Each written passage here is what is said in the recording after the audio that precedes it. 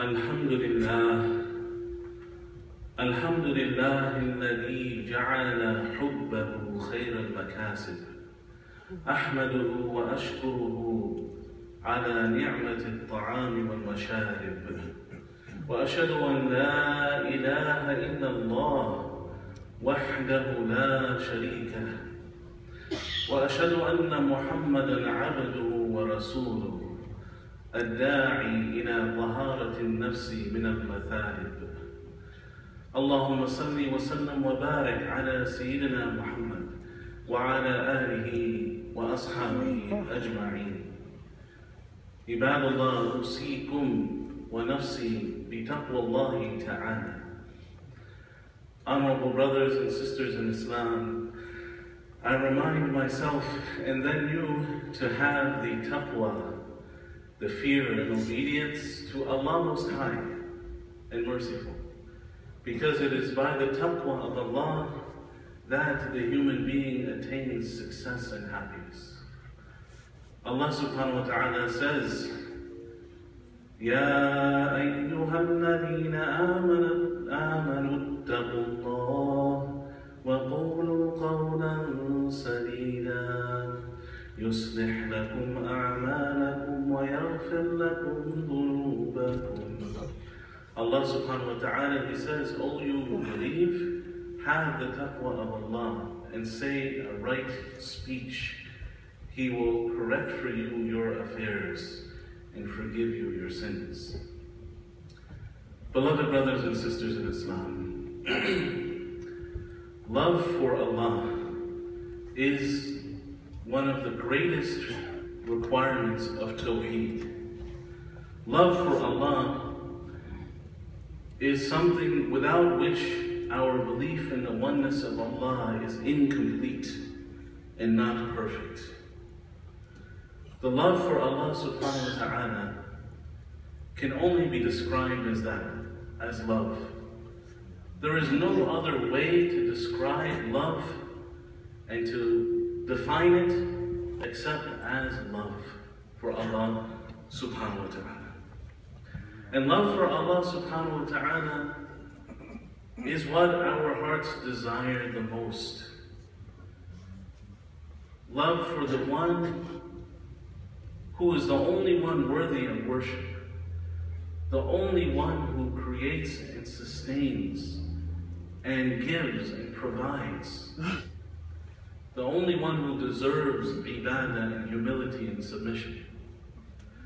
Beloved brothers and sisters in Islam, no one and nothing is loved for its pure essence and from every angle except Allah subhanahu wa ta'ala. Allah subhanahu wa ta'ala, love for Him is the most beloved thing to the hearts. The heart finds nothing more beloved to it than loving its creator, the one who initiated and created it and gives it life and causes it death and provides for it and carries out and commands its affairs. Its object of worship, its protector, its maintainer, its sustainer. Love for Allah subhanahu wa ta'ala is the pleasure of the soul and its sweetness. It's the life of the spirit, the ruh, and it is the joy of the nafs. It is the provision for the heart. It is light for the mind, the aql. It is the qurrata ayn, the relaxation of the eyes. And it is the inner life.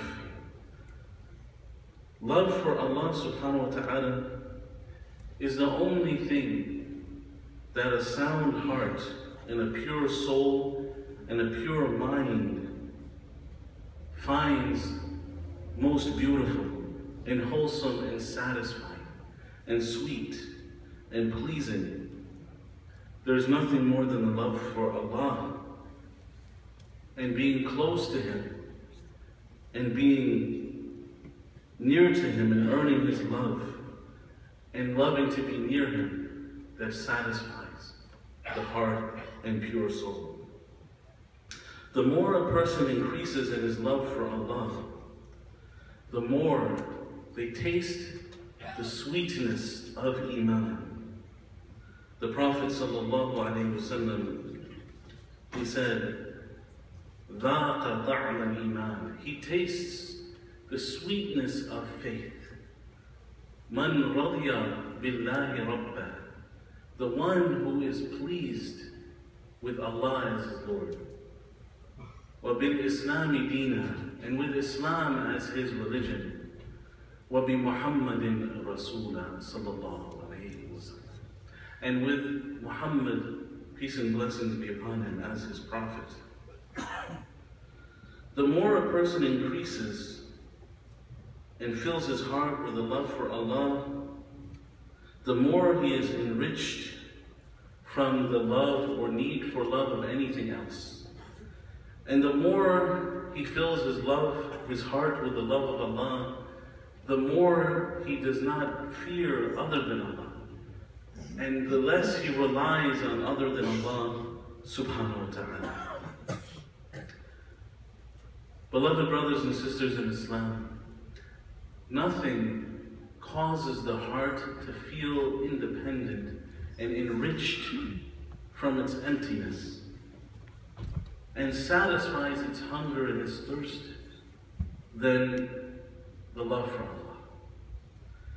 If a person were to get all that they desire and that they find sweet from this worldly life, it will not fulfill the emptiness of the heart and it will not cause the, the closeness and tranquility that one finds with the love for Allah subhanahu wa ta'ala. If the heart does not experience and loses the love for Allah subhanahu wa ta'ala, it feels a pain. A pain worse than the eye feels if it were to lose its power of vision. A pain worse than the ear would feel when it loses its ability to hear. A pain that is worse for the tongue that loses the ability to taste. It feels a pain worse than a nose that loses its ability to smell. Rather, greater than this, the corruption felt by the heart when it does not have the love for Allah, its creator and sustainer, is worse than a body that is deprived of a soul and life. The reality of love for Allah is to give yourself completely to the one that you love, such that you desire nothing for yourself. All of your desires are for the one that you love. You don't keep anything for yourself. The love for Allah exceeds all other loves. And they become, the other loves become tangential or secondary to that primary love, which is the love for Allah subhanahu wa ta'ala. This love, the primary love, which is the cause of happiness and the success of the servant. People, people who love Allah, they differ in this level of love. And Allah subhanahu wa ta'ala, He describes the believer as the one who has strong love for Allah. وَالَّذِينَ آمَنُوا أَشَدُّ حُبًّا لِلَّهِ And those who have Iman, they are powerful, they are strong in their love for Allah subhanahu wa ta'ala. What is love for Allah? Love for Allah is that you prefer what Allah loves over yourself and your own wealth. Love for Allah means that you agree to everything that He commands, and you realize your shortcomings in our love for Allah subhanahu wa ta'ala. We realize that our heart seeks Allah and seeks to travel to Allah subhanahu wa ta'ala in search of its most beloved. Love for Allah means that the tongue is busy with the remembrances of Allah subhanahu wa ta'ala. A person who loves often mentions the one that he loves. The Prophet sallallahu alaihi wasallam, he used to say, أسألك حبك وحب من تحبك وحب عمل يقربني إلى حبك. The Prophet sallallahu alaihi wasallam, he used to say, O oh Allah, I ask you for your love and for the love of those who love you, and the love for those actions that bring me your love. The need for love of Allah is greater than our need for food and drink. Because without food and drink, the body withers away and dies. But without the love for Allah, the soul perishes. True love leads a person, the true love for Allah, the real love for Allah, it leads the person to do what Allah has obliged and to abandon what He has forbidden and to seek to do those things that He loves, the mustahabbat and to seek to avoid those things that he despises, the makruhat. The love for Allah fills the heart of a person with the sweetness of Iman, oh. such that a person who has this love, this love for Allah, they find from their heart, due to this love for Allah, that they dislike whatever Allah dislikes. And they love what Allah loves. And their limbs move out of the, the love for Allah and His obedience. And the soul is tranquil and at peace with obedience to Allah subhanahu wa ta'ala. The Prophet sallallahu alayhi wa sallam, he mentioned in the Hadith Qudsi that Allah subhanahu wa ta'ala said, until the worshipper worships Allah, he says, Allah says, until I love him. And if I love him, I am the hearing by which he hears. And I am the seeing by which he sees. And I am the hand by which he grips. And I am the foot by which he walks. Meaning that all of those limbs move only in the obedience of Allah and out of love for Allah subhanahu wa ta'ala. The love for Allah, the lover of Allah subhanahu wa ta'ala, they find in this love sweetness that makes it easy to bear the hardships. And they find in this love for Allah the patience to obey Allah and the patience to stay away from what He has forbidden. So the love, the lover of Allah subhanahu wa ta'ala, he is necessarily obedient to Allah subhanahu wa ta'ala. He is obedient to the one that he loves. As it is said, the lover obeys the one that he loves. And the disobedience is a sign of the weakness of love for Allah subhanahu wa ta'ala. The more that the love for Allah increases in the heart of a person, the more that they are subservient to Allah and humble to Him. But if this love has no effect on the person,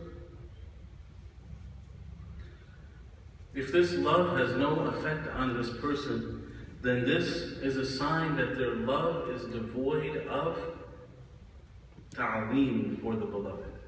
Their love is devoid of honor and respect and awe for the one that they love. For the one who loves Allah truly and has awe for Allah, they will feel shy from disobeying. They will feel humble and obedient to Him and shy to go against His commandments. So check your heart.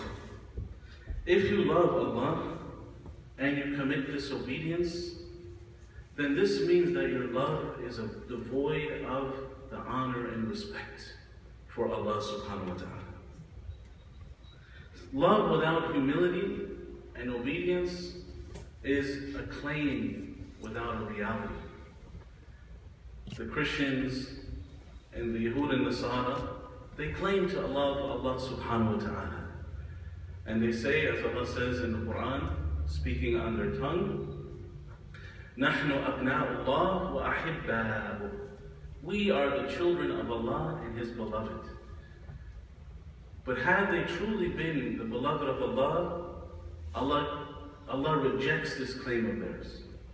And He falsifies it. And He says, قُلْ إِن كُنتُمْ تُحِبُّونَ اللَّهِ فَاتَّبِعُونِي يحببكم الله ويغفر لكم ذنوبكم ذنوبكم Say, if you truly love Allah, you are truly lovers of Allah, then follow me, follow the messenger. Allah will love you and He will forgive you your sins. Love for Allah is incomplete if it does not include love for the messenger of Allah and obedience to the messenger of Allah. Because Allah Himself, Allah He commands that those who love Him should love His messenger and obey Him.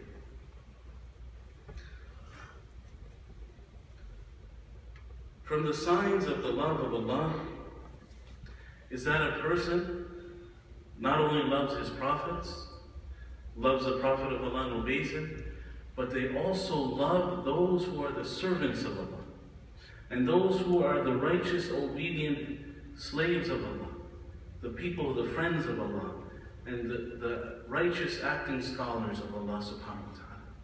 This is a sign and an extension of the love for Allah subhanahu wa ta'ala. And also from the signs of love for Allah is to have the enmity and dislike for those people who disobey Allah and are His enemies and who reject His commandments. And so, from the signs of the love for Allah is to help the helpers of Allah and to help those who help the deen of Allah subhanahu wa ta'ala.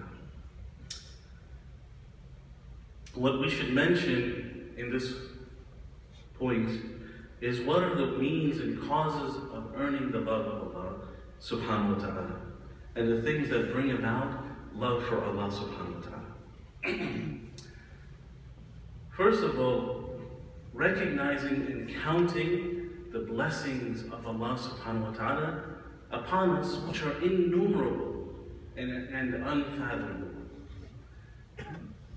If we count these blessings and try to count them, but we will not be able to, we recognize and we increase our love for Allah. وَإِن تُعِدُّوا نِعْمَةَ اللَّهِ لَا تُحْصُوهَا if you try to count the blessings of Allah, you will never encompass His blessings.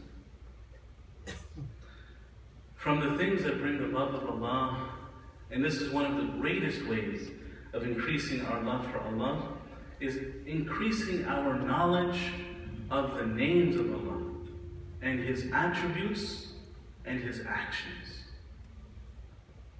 This is how one becomes more have more love of Allah. The one who knows Allah, they love Allah. And the one who loves Allah subhanahu wa ta'ala, they obey Allah. And the one who obeys Allah, then Allah will honor this person. And the one whom Allah honors, Allah brings that person close to Him. And the one whom Allah brings close to Him, then this person will experience great happiness and blessing and joy. and goodness. From the matters that bring about the love for Allah subhanahu wa ta'ala is reflecting on the malakut samawati reflecting on the great dominion, the heavens and the earth and the creation of Allah subhanahu wa ta'ala, and contemplating it and seeing the greatness and power and rahmah of Allah. These bring about love for Allah in the heart. And finally, from the matters that bring love for Allah is the dhikr, the remembrance of Allah subhanahu wa ta'ala And remembering Him often and thinking about Him. The one who loves a thing remembers it much.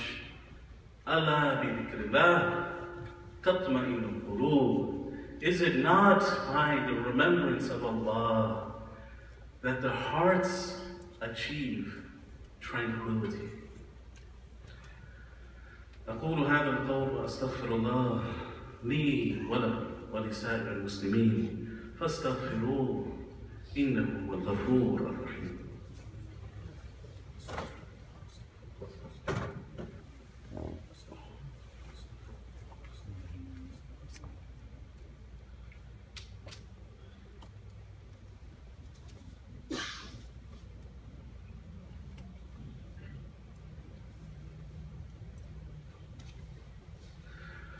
الحمد لله رب العالمين ولي الصالحين. والصلاة والسلام على سيد المرسلين سيدنا وحبيبنا محمد وعلى آله وأصحابه أجمعين أما بعد honorable brothers and sisters in Islam I remind myself and then all of you to have the taqwa of Allah to fear Him and be obedient to Him Allah subhanahu wa ta'ala He has different types of love that He created in the hearts of people. Four types of love that we should differentiate and understand clearly. the first type of love is love for Allah. And love for Allah is not sufficient, it is not enough to earn the reward of Allah and to be saved from His punishment.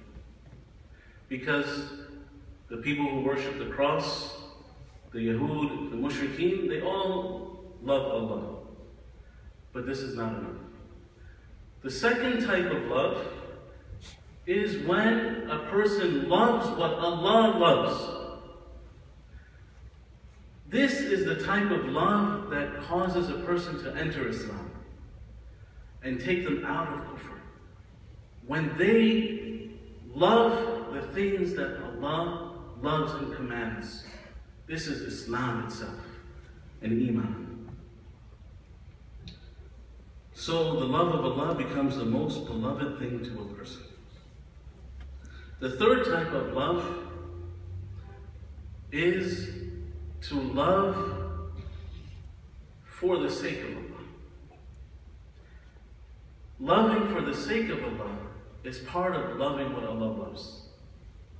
It's a branch of it. So a person, they love others and they love actions and they love things for the sake of Allah. Fillah wa billah. A person loves his brother and his family and he loves others for the sake of Allah subhanahu wa ta'ala. So this is part of the second, which is from the necessary love for Allah and love for what Allah loves. And it's a completion of it.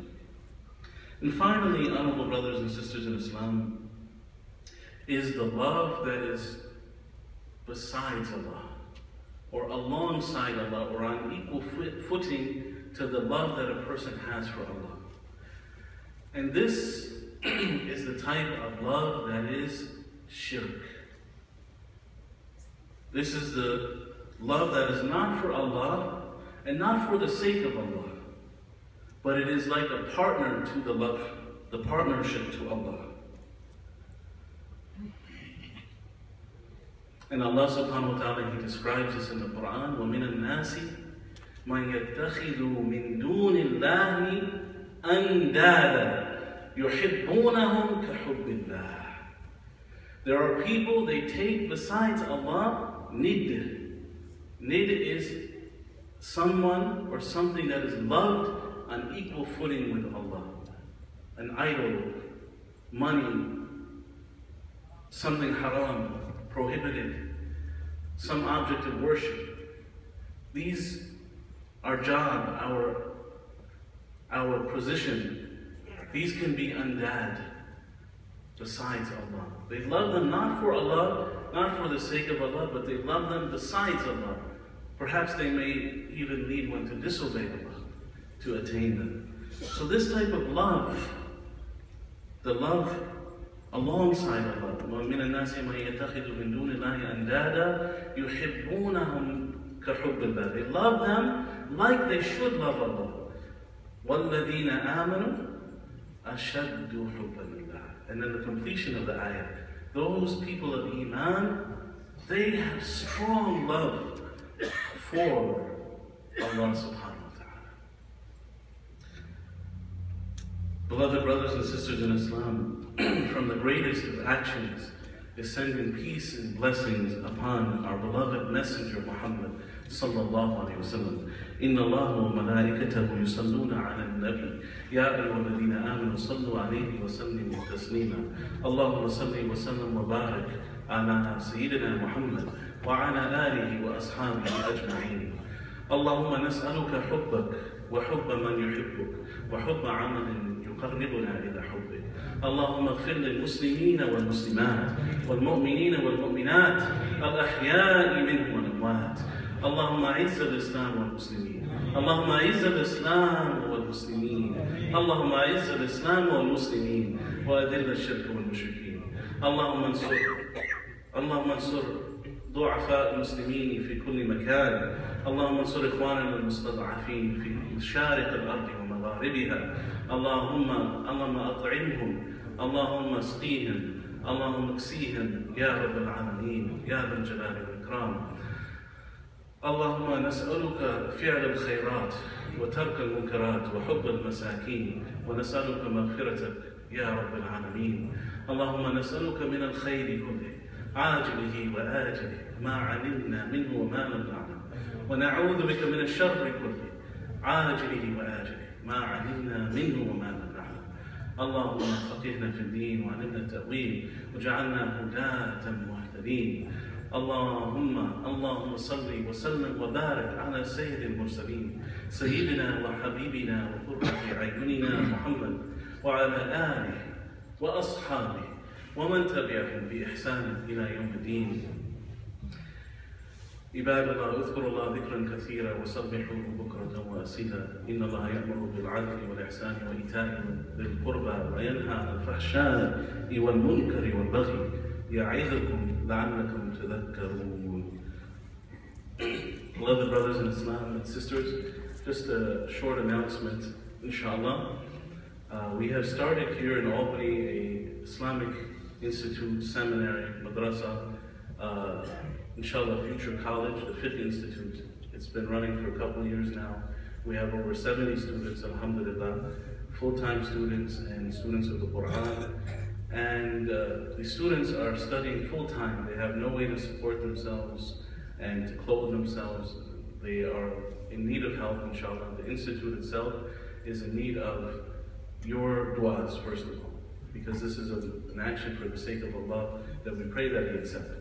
So we ask for your du'as, especially on this Friday, for this work, this institute, and all of the institutes that are seeking to spread the knowledge of Islam and raise the future imams and leaders of the community. We also ask if you have uh, any interest, you can help and uh, donate. We have a brother here who will have some pamphlets by the door if you would like to support this cause, inshallah ta'ala. Wa jazakum khairan.